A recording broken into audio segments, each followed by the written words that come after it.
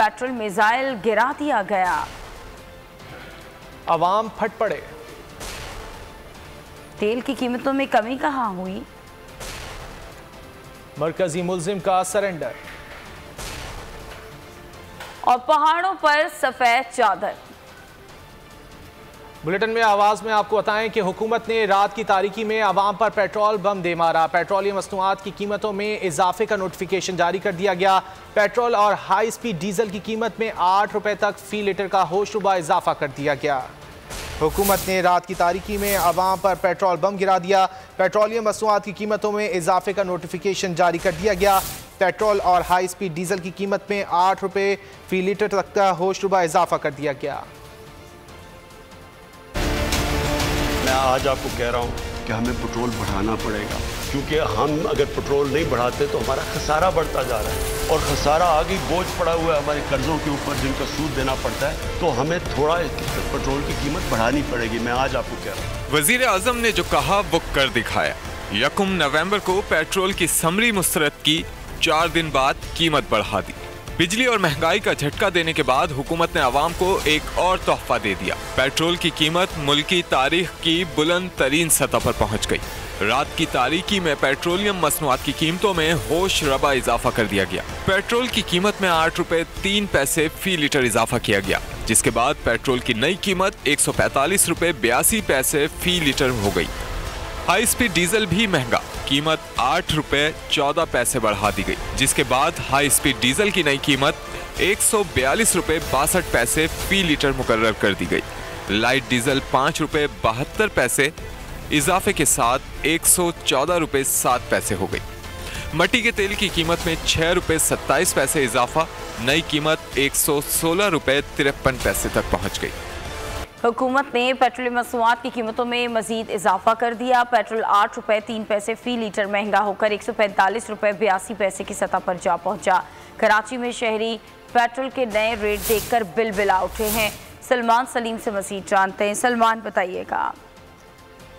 जी, बिल्कुल देखिए, वफाकी हुकूमत की जानब से शहरी शहरियों के ऊपर एक बार फिर पेट्रोल बम गिरा दिया गया है। आठ रुपये कुछ पैसे जो है वो बढ़ा दिए गए जबकि पेट्रोल एक सौ पैंतालीस रुपये कुछ पैसे जो है वो फ़रोख किया जा रहा है। शहरीों को जो है वो पता भी नहीं था, इसका इल्म भी नहीं था, जबकि रातों रात आठ रुपये जो है वो बढ़ा दिए गए शहरी जो है वो काफ़ी गुस्से में दिखाई देते हैं। तमाम कुछ लोग जो हैं, कुछ शहरी जो हैं, वो यहाँ पर बहसों मुबासा करते हुए भी दिखाई दिए हैं हमें जिनको नहीं पता था कि पेट्रोल की कीमतें जो हैं वो अब क्या हो चुकी हैं। एक साहब भी हमारे साथ मौजूद हैं जो बात करते हैं। सर, आठ रुपये रातों रात बढ़ा दिए पेट्रोल पर क्या बोल बोलेंगे? क्या बोलेंगे? जहरी बात है, रोज़ का आना जाना है हमारा। जो है, दिन ब दिन है परेशानी का सामना करना पड़ रहा है और क्या? बिल्कुल शहरी जो हैं वो भी हुकूमत की कारकर्दगी से नाला दिखाई देते हैं। उनका भी यही कहना है कि हुकूमत जो है वो कुछ भी नहीं कर सकती पेट्रोल की कीमतों में। तमाम जो शहरी हैं वो एक सौ पैंतालीस रुपये कुछ पैसे पर पेट्रोल डलवाने पर जो है वो मजबूर दिखाई दे रहे हैं। शहरी जो हैं उनका ये सलमान बहुत शुक्रिया आपका। पेट्रोलियम मसनूआत की कीमतों में इजाफे पर आवाम फट पड़े। कहते हैं पहले ही पेट्रोल की कीमत इतनी ज़्यादा थी फिर आठ रुपये का इजाफा कर दिया गया। ये आवाम पर जुल्म है। मैं अभी पेट्रोल वालों के साथ कह रहा था कि सुबह पेट्रोल की प्राइस एक आप गाड़ी में एक रेट पे डालोगे, शाम को तब्दील हुआ, दूसरे पे डालोगे। आप उसी हिसाब से पैसे दोगे पैसे दोगे, वो कहते हैं कि नहीं, पाँच रुपये अभी लेटर फिर बढ़ा बढ़ा हुआ है। अभी रात को बारह बजे उन्होंने नोटिफिकेशन किया हुआ है। ये नींद से उठ के ना तो फिर वही हो जाती है कि अभी पेट्रोल को ऊपर ले जाना है। भाई, पता ही नहीं चला, रात को सोए सुबह एक सौ पे पहुँचा दिए। ठीक है। ना कुछ बचत होती है, ना कुछ। ये सारा काम जो है चीज़ें महँगी करने से करप्शन ख़त्म नहीं होगी। ना हम अपना कर्जा वापस दे सकेंगे। ये तो ऐसे होता है कि बगैर किसी तरह जंग का ऐलान कर देना और आम बम बम फोड़ देना इंसान के, कि इंसान सो रहा होता है, सुबह उठ के भाई ये होता है कि ये चीज़ अचानक ही हो जाती है। ये इंसान, ये इमरान खान को चाहिए कि अवाम का ख्याल करें, इससे महँगाई से करप्शन कम नहीं होगी, महँगाई से और करप्शन बढ़ेगी, पेट्रोल चीज़ें महँगी होंगी, लोग और महँगी चीज़ें बेचेंगे, जिससे आवाम तकलीफ़ में आएगी। और पेट्रोल की कीमतों में इजाफे पर अपोजिशन ने हुकूमत को आड़े हाथों ले लिया। रहनुमाओं ने अपने बयान में कहा कि तब्दीली सरकार ने आवाम को मजीद कुचलने के लिए पेट्रोल और डीजल महँगा कर दिया। हुकूमत रुपए की गिरावट रोकने में कतन नाकाम रही है। अपोजिशन की जानब से हुकूमत को पेट्रोलियम मसूआत की कीमतें बढ़ाने पर तनकीद का निशाना बनाया गया है। रहनुमाओं ने अपने बयान में कहा कि, में कहा कि तब्दीली सरकार ने आवाम को मजीद कुचलने के लिए पेट्रोल और डीजल महँगा कर दिया। हुकूमत रुपये रोकने में कतन नाकाम रही है।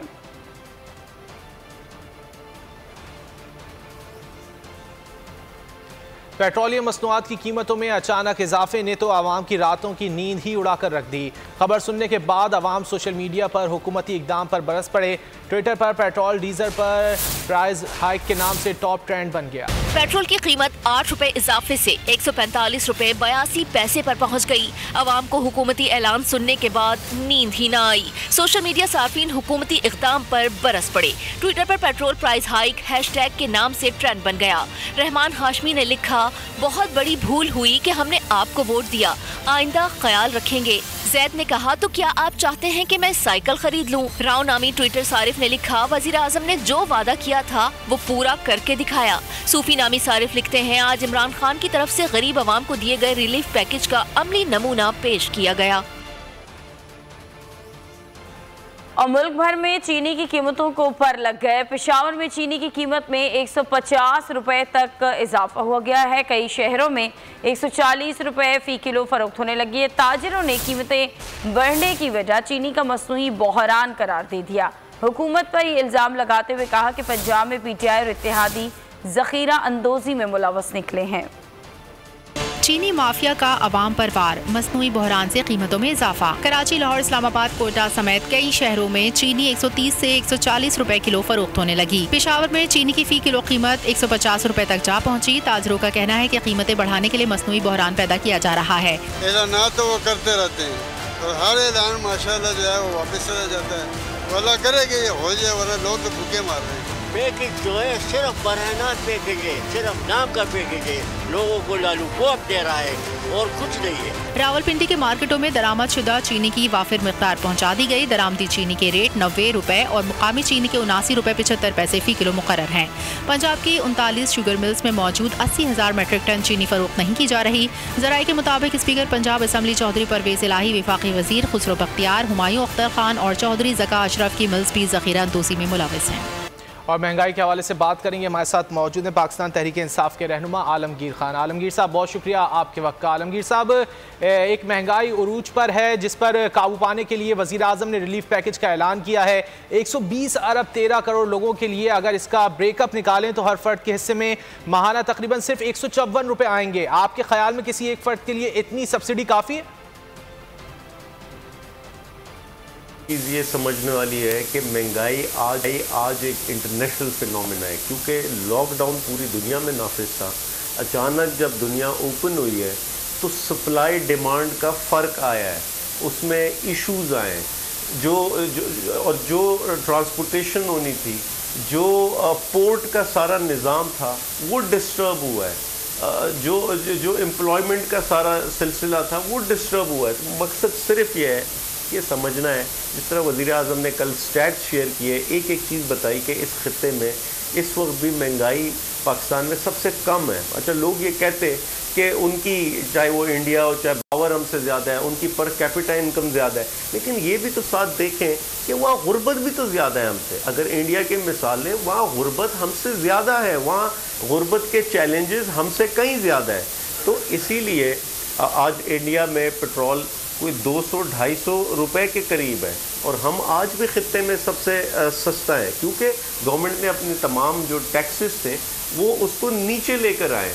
तो इसीलिए ये सब, और फिर जितनी हमारी इम्पोर्ट्स बाहर से होती हर बुनियादी अशिया हम बाहर से इंपोर्ट करते हैं, क्योंकि पिछले तीस साल में हमने एग्रीकल्चर पे काम ही नहीं किया। अब जाके कुछ एग्रीकल्चर पर काम हो रहा पेस्टिसाइड्स पर अच्छा आलमगीर ये भी बात करना चाहेंगे कि महँगाई जो है वो यकीनी तौर पर एक आलमी मसला है लेकिन बैरूनी हुकूमती हुकूमतें जो है वो इससे लोगों की कुत इस्तात बढ़ाने पर काम कर रही हैं। और आपको आपसे ये भी जानना चाहेंगे कि जो आलमी सतह पर कंजम्पशन पर ज़ोर दिया जा रहा है और ये मीशत का बुनियादी असूल भी है और जो हमारी हुकूमत है जो पीटीआई की हुकूमत है वो इसके बरक्स चल रही है। इस पर आप क्या कहेंगे? देखें, आज रिकॉर्ड पे है कि पिछ, के पिछले साल की नस्बत काफ़ी ज़्यादा हमारा रेवेन्यू कलेक्ट हुआ है इस माह में। और जो कि बहुत अच्छे मुस्बत आप कह लें कि फिगर्स आ रही हैं सामने। और साल के आखिर में हम अपने टारगेट से ज़्यादा रेवेन्यू कलेक्ट करने में कामयाब होंगे तो ये इस हकूमत की बहुत बड़ी जीत है। और देखिए प्रॉब्लम ये है कि आपके पास लोगों को लोगों पर खर्च करने के लिए पैसा नहीं होता।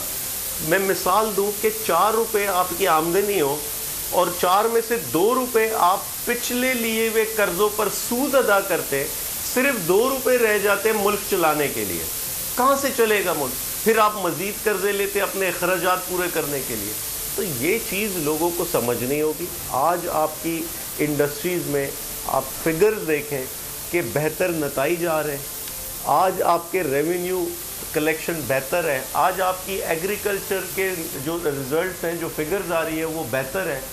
तो ये कई गवर्नमेंट की पॉलिसीज़ हैं। लेकिन पैसा चाहिए लोगों पर खर्च करने के लिए, जो बदकिस्मती से इस वक्त हम कर्ज़ों के ट्रैप में फंसे हुए हैं, उस पर जो सूद अदा करना होता, उस ट्रैप में फंसे हुए हैं जो इन एक दिन हम निकलेंगे उससे और इन्हीं पॉलिसी देखते हैं कि आवाम को कितना रिलीफ शुक्रिया आलमगीर साहब आपने वक्त निकाला हमसे गुफ्तु सब्सक्राइब करें और बेल दबाएँ ताकि कोई खबर रह न जाए।